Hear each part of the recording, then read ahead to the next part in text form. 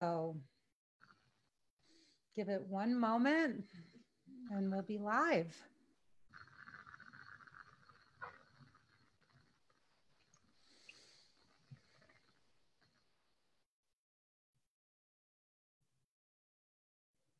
There we are.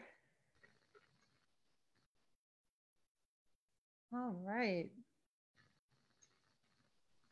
Hmm. All right. So, Jeanine, thank you so much for joining me today. It's so great to see you. And we are completing 12 weeks of coaching together. You just, you're completing my emotionally naked dating course. And it's just amazing to have you here. Yeah, I just can't believe it's been 12 weeks already. I know, yeah. actually, a little more because I was on yeah, vacation, yeah. right? So yeah. it's actually 14 weeks because we added those two those two weeks back, you know, for while while Benjamin and I um, were away. So first of all, I just want to thank you so much for being here. You have been such an absolute joy for me to work with. And I never know when somebody comes into this course, you know, what's going to happen for them, just like you don't know. But you've had such a beautiful journey in this course. I mean, you are not the same person I met 14 weeks ago. Would you agree? Yeah, I don't think I am either. Right? Yeah. Like yeah. You're really you're really like so much has changed. You're so I mean, I can't wait to talk about it. So let's talk about where you were at when you first came on that initial call. At that point, I had been, um, my husband of 20 years had left me about a year before, and I was 55 years old and just wondering how on earth would I even venture back into this kind of dating world and just how would I go about doing it? And I just didn't want to be alone for the rest of my life. Yeah. And so you didn't have any idea how to get yourself back out there, how to really make any of this happen, right? Not really. I'd been, you know, looking around on the internet and looking at dating sites, and it all just seemed so overwhelming and um, not really very appealing. And had you tried some sites? Had you actually gone on and, and like kind of given some of them a I, shot? I guess like maybe one day I would go on and have a little interaction and then go dark because it became just too much for me.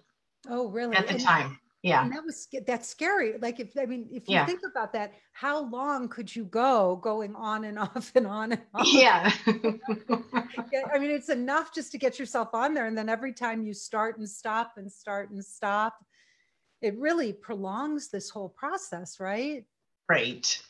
Yeah. Uh, I, I wasn't definitely not ready. Yeah. You know, when I first met you, I, I maybe thought I was ready.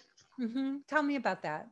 Um, I mean, I knew at that time when I came across your webinar and I listened to it, it just really, it just really touched me. It just seemed so genuine.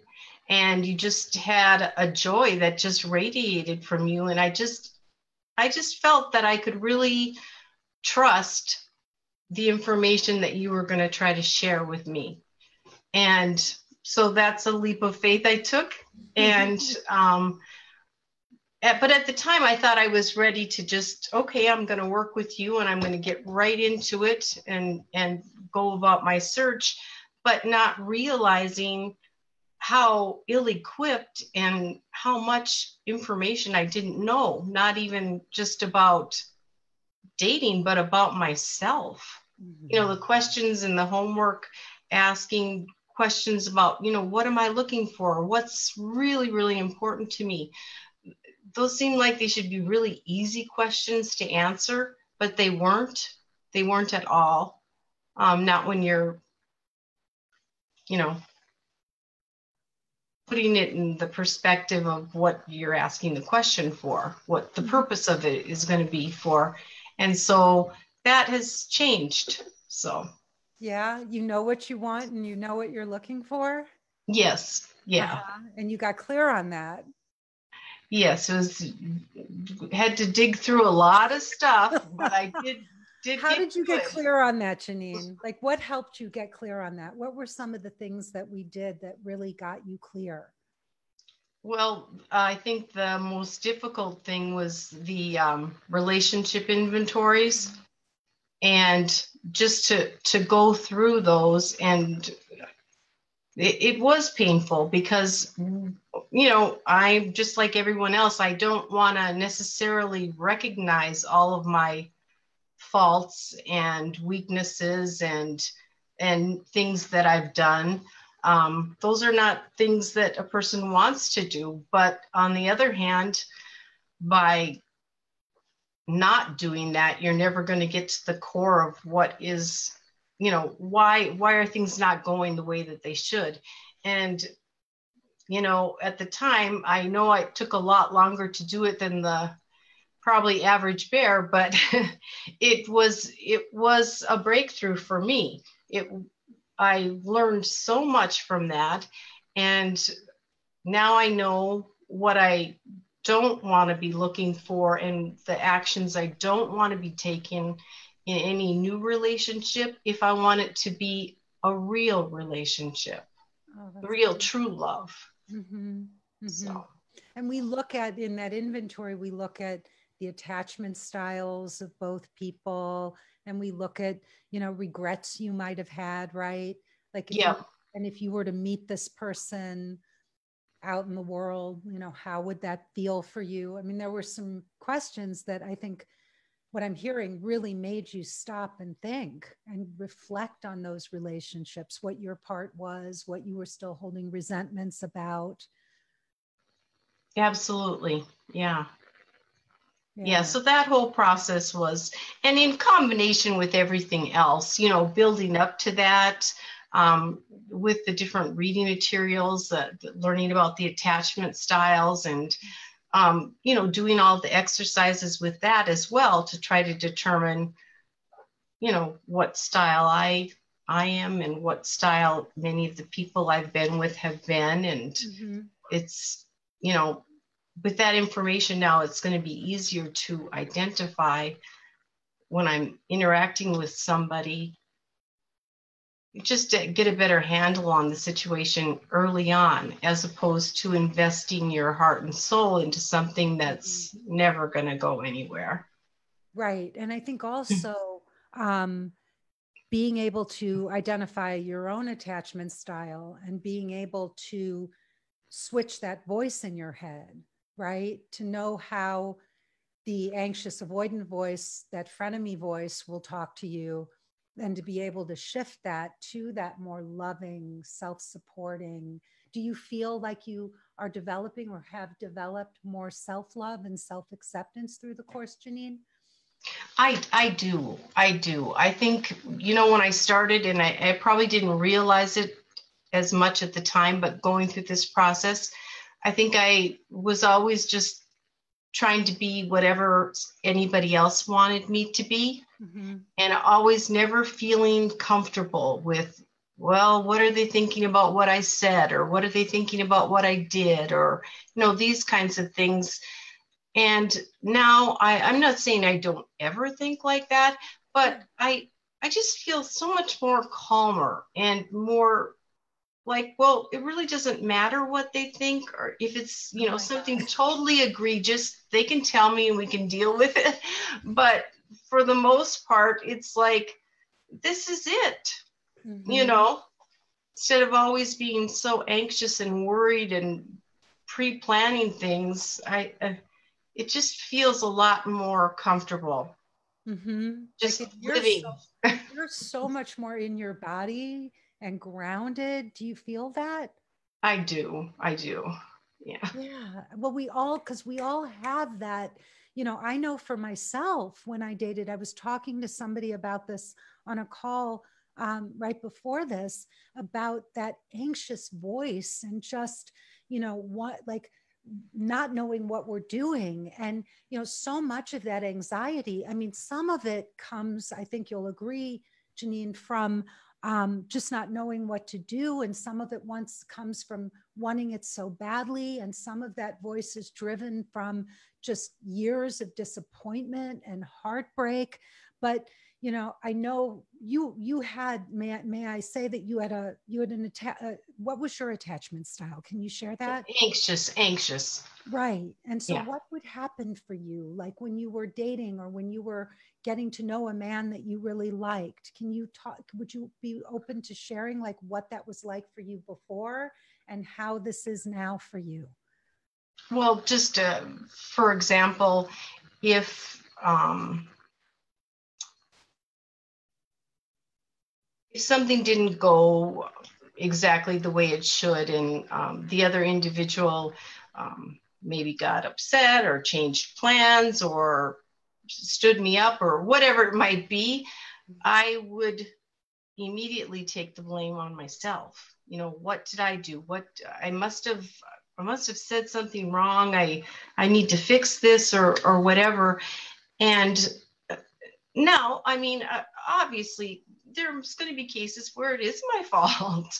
But for the most part, they may be having a bad day and i can i can slow my mind down now and, and think about that before i get so anxious. It's just like hmm they they might be having a bad day they're crabby something else is going on or or maybe that's the way they are and then it's good to know that too.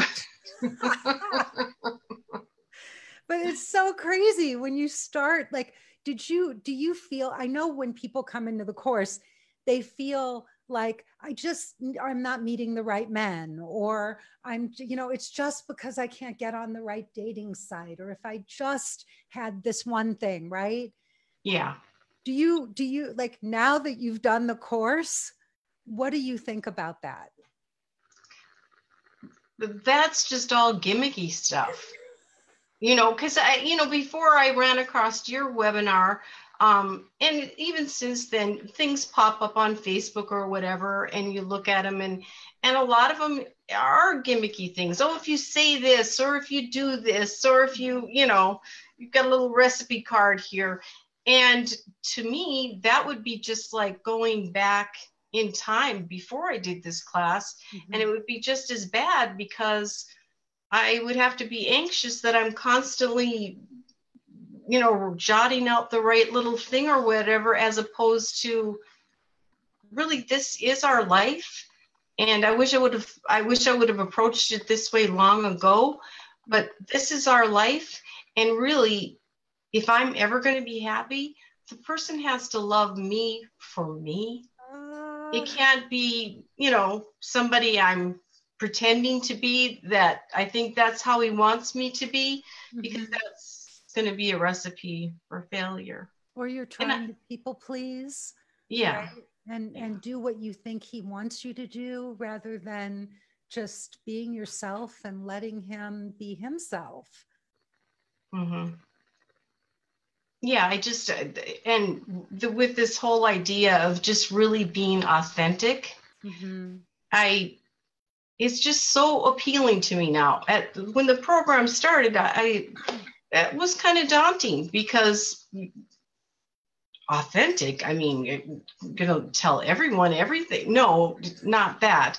But but you know, you want somebody who's going to be that way with you too. Right. And if you're both not that way, it's not going to be that full, real love that can exist a full real partnership.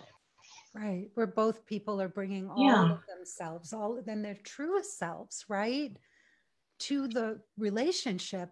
Tell me what you thought about the different pieces because there are several different things. There were there was a daily drip campaign an email campaign you know that you came into your inbox. There were um, the modules and the meditations and the interviews with my husband Benjamin and me, um, which uh, some people really loved. And then there were also all the Q and A calls, right? And then one-on-one coaching calls. Yeah, I I have to say I, I can't say that I liked one aspect more than the other. I think they just all complemented each other so well. The daily emails. Um, you know, sometimes you'd have little exercises in there or things for a person to think about. And that information uh, many times was just as crucial for me as the information I was learning in the modules. And then um, doing the one on one calls was obviously great because you were able to give me direct feedback and directions so that, you know, you were able to see my growth and give me further um, advice on moving forward. And then the group calls, just so many amazing women and just it's just really helpful to be part of a group like that that everyone is just actually everyone there is just so loving and kind and caring about each other and they're all good people just looking for love right. real real love i love yeah. that and you see like young on the calls right there are women who are younger and there are women who are much older and you really did you see jeanine that everybody was really struggling with the same stuff yeah, really. Is you know, crazy? Yeah. like you think I, you know, you think I'm 50 and you know, I'm it's I'm I it's too late or I'm so, you know, why didn't I do this sooner? And then you see somebody who's in her 70s and she's, you know, or you see somebody who's in her 20s. How did you feel about that?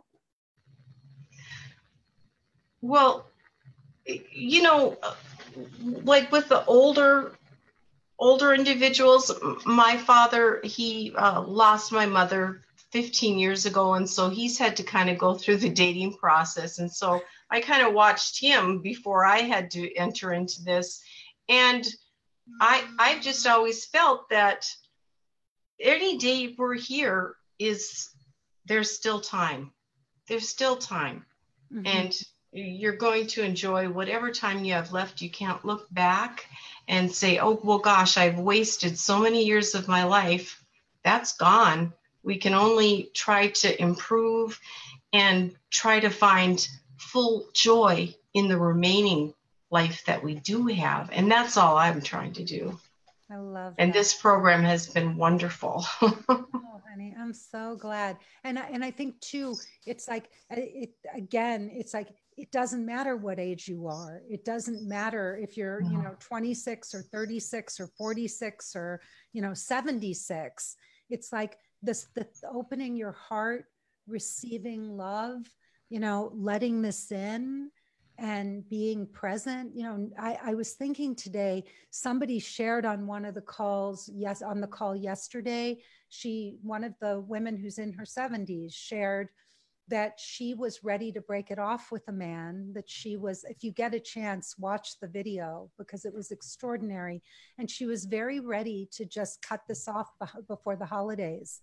And it was amazing because um, what what i noticed is that we have these moments where we have these what i would call micro no's like no's. They're just little mo- little tiny moments, right? Where we keep saying no to somebody.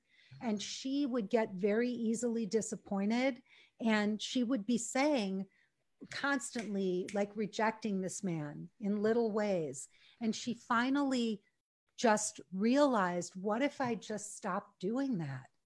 What if I just stopped finding all these little reasons to push him away? And it was so beautiful to see you know how we do that in our in our lives right? Like we say no and we're pushing people away constantly. Or you know for some women like those of us that are people pleasers we may not be saying no we're smothering them you know by being by being too nice or but you watch this stuff on those calls and you get to see, observe what these women are doing right? And then you get to apply it to yourself did you? Oh, right. Because so many things were applicable to me. It would be, you know, something someone else was describing, and oh, I feel exactly the same way, or I've had that similar experience, and it just it just really helped that you know you're not alone here trying to navigate all of this mm-hmm. and it's not insurmountable. It is a goal and a worthy goal. Yeah. And one of the things um, is that what was I going to say to you? A lot of the women that come on, Jeanine, or that I talk to, they will say to me, I just want to do one on one sessions. I only want one on one. That's what I really want. What would you say, you know, having done the program, what would you say to that person that just wants to do one on one sessions from your experience with this kind of format? Well, the first time I spoke to you, I was comfortable with you and in my head that's what I was thinking. I I'm comfortable with this. You're sharing information with me and I was I was pretty nervous about, you know, hopping on a call with women I don't know, you know, sharing what you want, but you know, sometimes intimate things and um I wouldn't trade it. It it definitely was so much brought so much more to the table. Mm-hmm. And then the one-on-ones that we had were just so much more impactful because we had all this other stuff that yeah.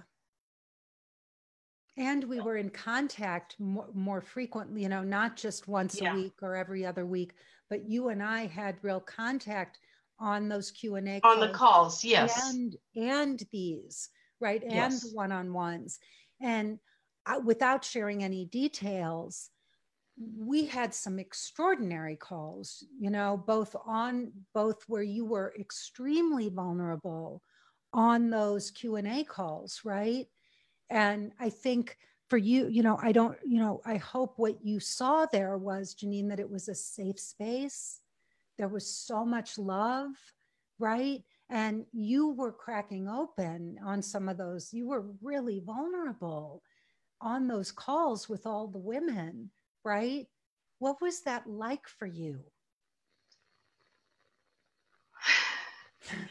Well, you know, those a lot of those things are things that you don't want to look at and you I've been shoving down for my whole life. And so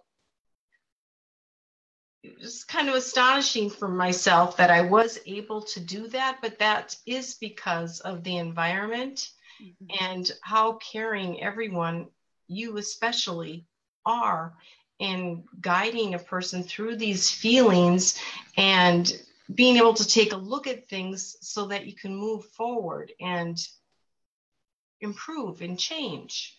Yeah. And if I wouldn't have had that opportunity, I don't think I would have grown as I have. Mm-hmm. And I wouldn't be this far on my path. I would be back a ways. Yeah. This and really... I'd probably be stuck too because I wouldn't ever, you know. Well, again, and without going into detail, you were also in a relate in in a kind of long distance relationship when when you came in, right? That's true too. Yes. But you also had we we were able to move you forward from that, right? Right, so that I wasn't so attached to mm-hmm. Yeah. Yeah. And person. so that I could see things more clearly for what they really are. Mm-hmm. Um just in and you know what also this whole process it's helped me just with my interactions with everyone, with my family, coworkers. I just, uh, I think I'm an overall more peaceful, calm person, and I think about things in a different way before I maybe am so quick to make a judgment or comment. I have so many chills right now just hearing you talk to me because I'm so happy. Like I'm just so happy. You know, it's it's um doing what I do, I fall in love with all of you, you know? I mean, I do. And it's such a an honor to me to be able to be on this journey with you. I, I want you to know that. Like the fact that you would choose to let me be, you know, I think sometimes I get to be a bit of a shepherd, right? I get to carry you from one place to the next. And that's so sacred, you know? It really is. It's such a sacred thing. And so um, yeah, it's just working, you know, having you as a client has really been such a gift to me. And I want you to know that I've been able to witness your growth and help facilitate that in some part. And, um, you know, and the growth in you has been profound. I mean, really profound. You know that, right? Wow. it, no, it, whatever I've grown, I just would not have happened without having. I mean, I, I really feel like it was divine providence that I came across your webinar and that I actually sat and watched the whole thing. You mm-hmm. know, because you you see things all the time on the internet and you know, you just connected with me and I just don't think this could have happened without mm-hmm. someone yeah. as gifted as you to be able to help me through this. And i i will never be able to thank you enough. Oh, you will always have a special place in my heart. Oh I, that means so much to me. Well i know we still have a little more of our journey ahead of us right? You're going to be with me for the next month so that's really great in the continuation program. So that's really wonderful. I'm so happy and um, so we don't have to say like goodbye. no, we don't have to give hugs goodbye now.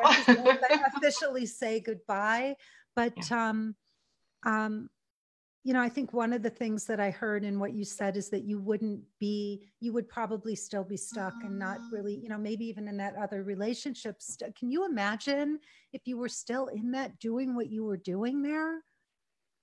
No, no, I just absolutely cannot honestly i mean no. that was gut wrenching for you that was you were so were, would you agree that you were in tremendous pain emotional pain yes yes mm-hmm.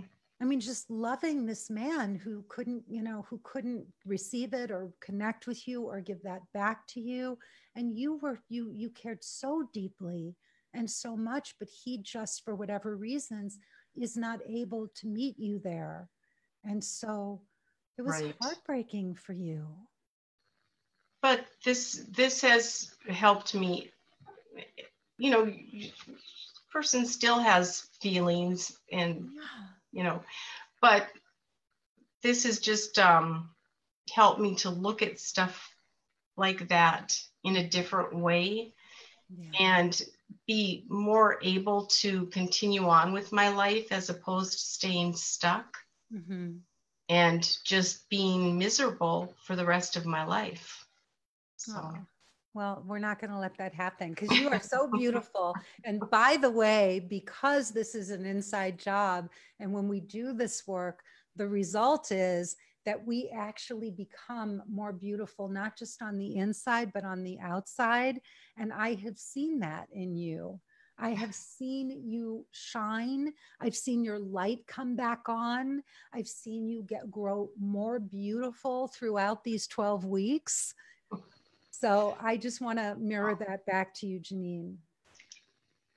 Thank you. I'm sure people are saying something. I mean, I'm guessing that people around you notice. Do they? I, I think they notice that I'm interacting differently. You know, mm-hmm. it's probably more calming to be around me rather than more nerve wracking. well, we're going to do more work over the next week. So Honey, I oh, send you so much love. I thank you with all my heart. Thank you for coming on the Facebook Live. This is beautiful. And, you know, if there were anybody that was signing up to do this work, I want you to have the last word. Like if some woman was really scared to pull the trigger on this and just do it, what would you say to her to say, to convince her to say, from your perspective, why you feel it's worth doing? Well, number one, what do you have to lose? Everything in the past has brought you to this moment where you have an opportunity to change the future. And it is so um, expansive. There's just really no way to just put it in a little gimmicky, mm-hmm. you know, you, you just can't but it's going to be something that's going to grow your mind your heart your soul it will change you.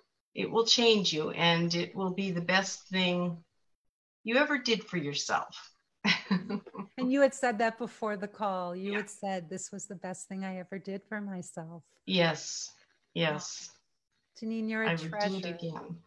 oh, you do it again. yeah. No, I mean, I, you know, yeah. We don't get do-overs, but in this case, yes, I would.